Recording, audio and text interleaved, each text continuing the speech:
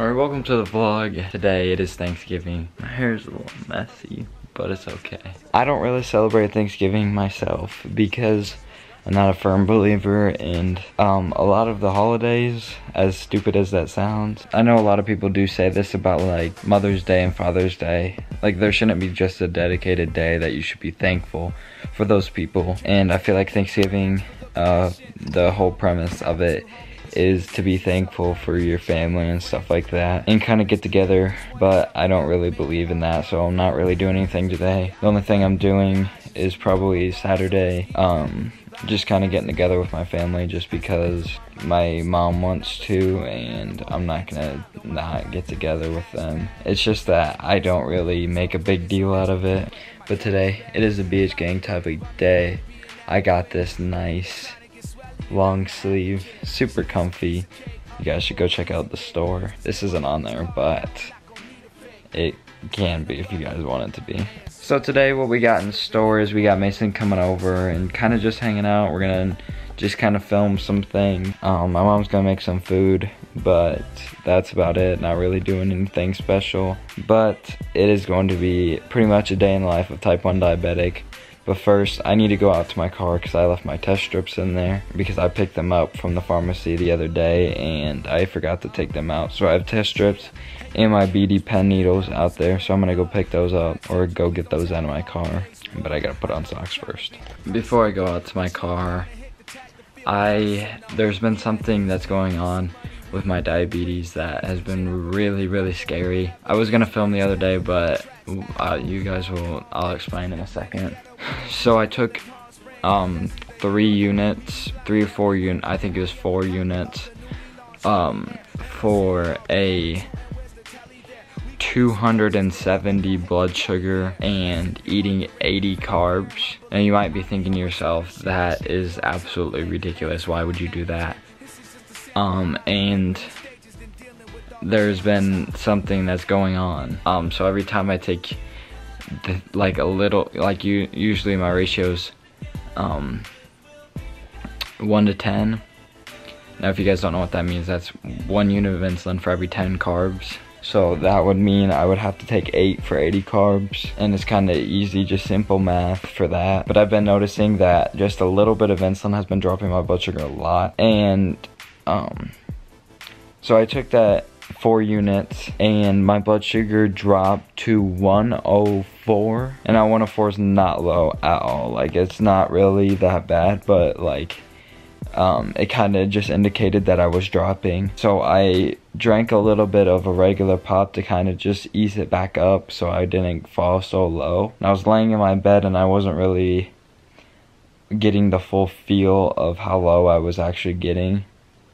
Now I dropped to 50 and I did not have anything to fix it other than like regular pop and and that wasn't really ideal for me to keep drinking because I didn't feel too good about it. My stomach was kind of getting upset because I wasn't used to all that sugar and um, carbs. So I drove to the gas station, which you probably should never do with a 50 blood sugar. And so I drove to the gas station, got a Fanta, which that has like a ton of carbs. Like that's probably my go-to drink if if I'm really low. So that has a ton of carbs. I think it has over like 60 something. And then I got Skittles, which are pretty fast reacting with me. And then I got orange slices, like the gummies, because those have uh, 30 carbs for every three pieces.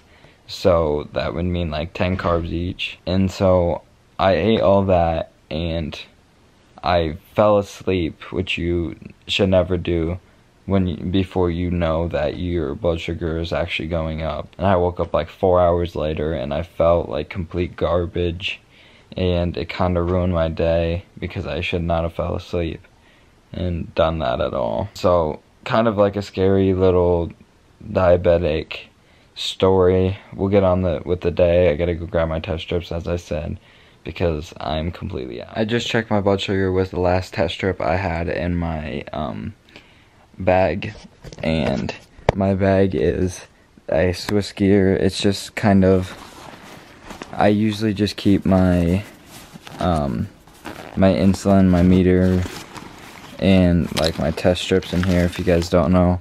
I have the I think it's just a uh, it's a contour next. That's what kind of strips it has. I check my blood sugar and it's 168 and it just always says unable to connect the pump because I don't have my pump connected but I take um, Novolog um, pens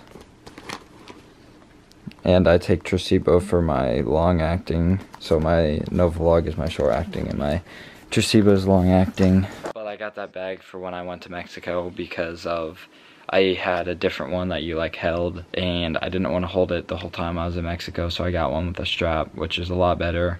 I do recommend straps if you are a diabetic and you don't have a strap. Straps are the best thing you can do because it's a lot easier to carry around and straps are normally easier to remember because it's kind of either always on your side or they're a little bit bigger and it's really hard to forget a strap.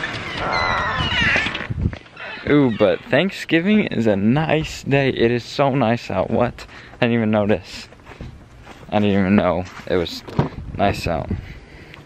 I still have insulin in my system, so the 168 blood sugar is is not what it's gonna stay at. It's going down. So I'm gonna have probably a snack around 12 carbs. I really haven't talked, really haven't talked too much about um, diabetes as much as I would want to because my whole goal eventually be a, kind of a spokesperson but I'm gonna start incorporating it in my videos a lot more because I know that I can reach a lot more people this way than I can any other way with diabetes and kind of just keeping it to myself isn't really what I want to do. I knew it, if you guys can't see. I, I don't know why it bugs out so much, but that's 135. It's,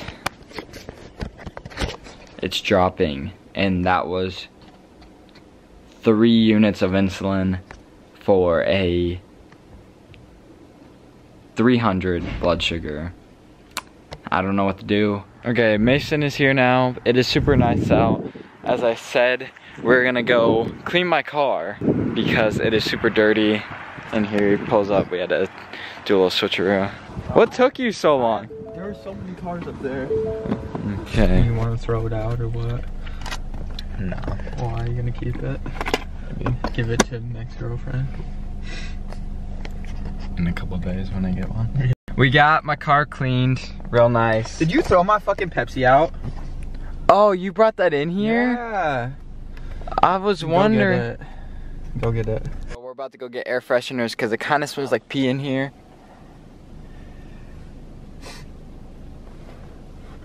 Big dick. What are you doing, dude? Dylan. Huh? Dude, I'm, I'm off the fucking grid. well, Welcome to the vlog. Hmm? So welcome to the vlog. yeah. Let me tell you about my political party. Here what? My political.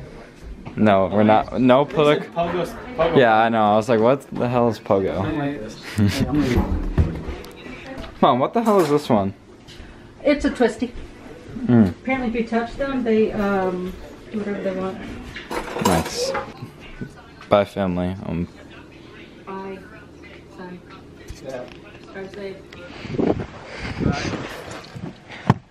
car smells good. Bro, I can smell it from outside. At least it's better than Cleet's car. We just stopped and got something to drink. We are about like 20 minutes, probably around 20 minutes away. Mason can't open his. Me and Mason heard that there was a nice sale at Barnes and Nobles, so we came as quick as we could. You're gonna get a good book today. A what? Good book. A good one? Good one. A good one. Yes, sir. Are you gonna read it all tonight? Yes, sir. I'll probably read it on the way. We're in the mall now.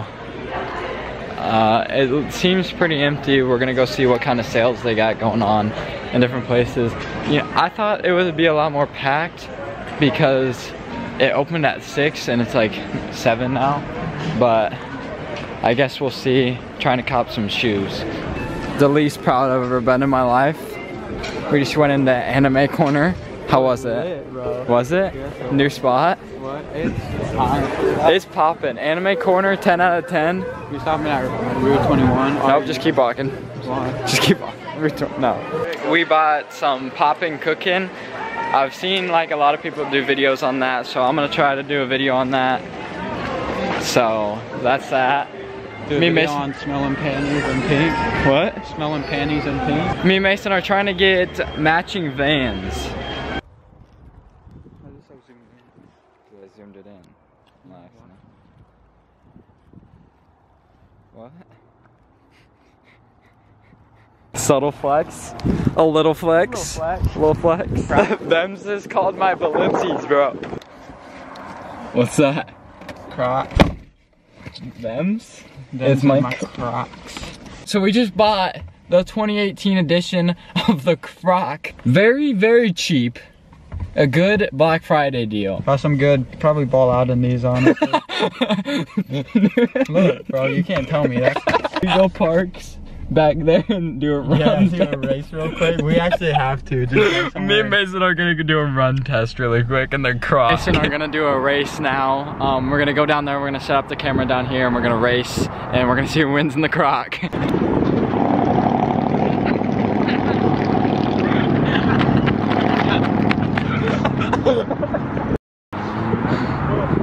Now that determines it.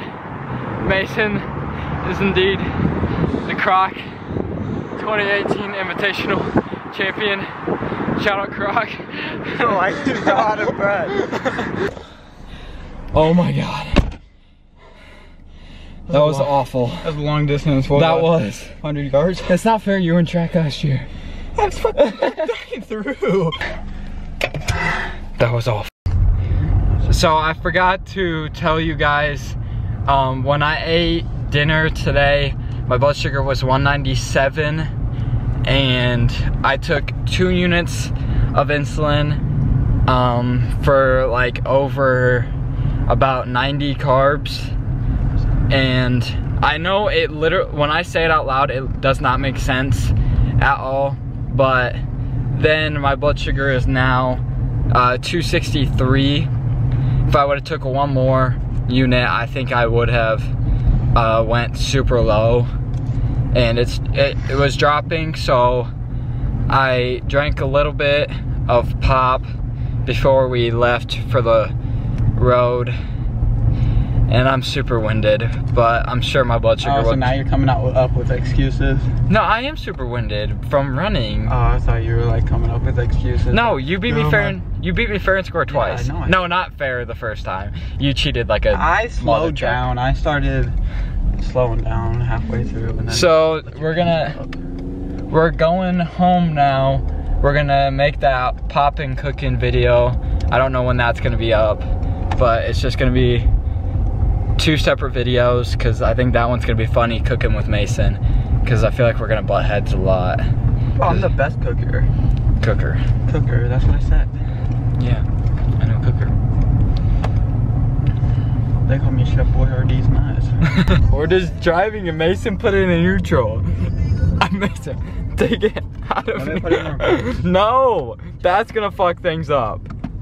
Mason, we're literally, there's a train right there. that ain't no train. yes it is. It's not. That was a fucking truck. Mason, we're, we're about to stop.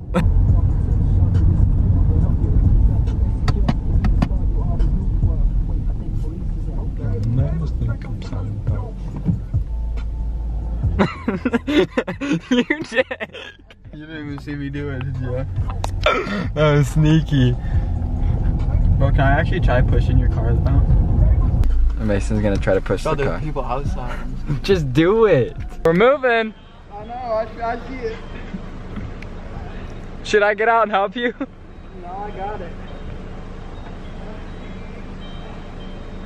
Does this burn gas? I don't think so. Alright, that's the that's the most you bro. My shoulders are dead. That's hot and horny. Don't say shit like that.